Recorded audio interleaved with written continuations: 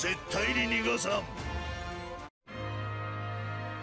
麦わらのルフィによってエースは救出された。2人と配下の海賊団を逃がすため白ひげはしんがりで力を振るい続け失態に浮き足立つ海軍。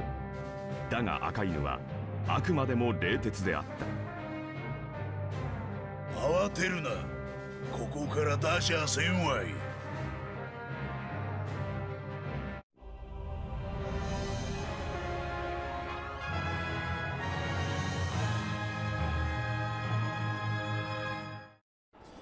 エースを解放して即退散とはとんだ腰抜けの集まりじゃのう白ひげ海賊団。船長が船長それも仕方ねえか。白ひげは所詮千の時代の敗北者じゃけエース。敗北者？うん。取り消せよ。今の言葉。エースお前の本当の父親ロジャーに阻まれ王になれずじまいの永遠の敗北者が白ひげじゃどこに間違いがある。親父親父とゴロツキどもに慕われて家族まがいの茶番劇で海にのさばりやめろ。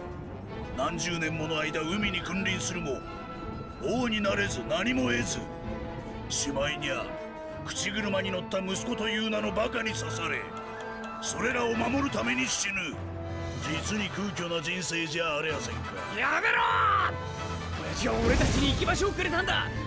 お前に親父の偉大さの何がわかる。人間は正しくなけりゃ生きる価値なし。お前ら海賊に行き場所はいらん。白ひげは敗北者として死ぬ。ゴミ山の隊長にあつらえ向きじゃろうが。俺を救ってくれた人をバカにするんじゃねえ。白ひげはこの時代を作った大海賊だこの時代の名は白ひげだ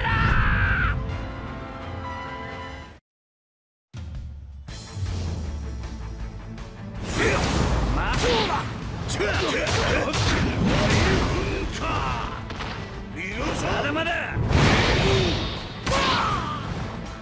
まだまだ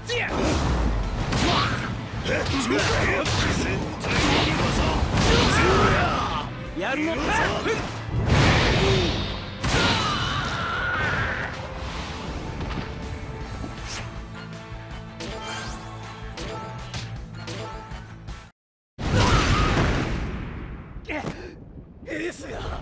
焼かれた！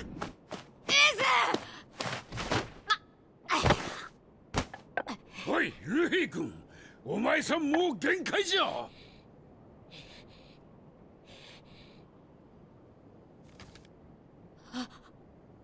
エースのビブルカード。海賊王ゴールド・ロジャー革命家ドラゴン。この二人の息子たちが義兄弟とは恐れ入ったわい貴様らの血筋はすでに滞在だ。誰を取り逃がそうが貴様ら兄弟だけは絶対に逃がさん。よう見ちょれ。おい待て！ルビー